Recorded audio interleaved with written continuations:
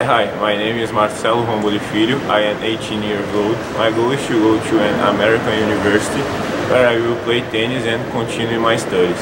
Today I will show you a little bit of my game. I hope you enjoy it.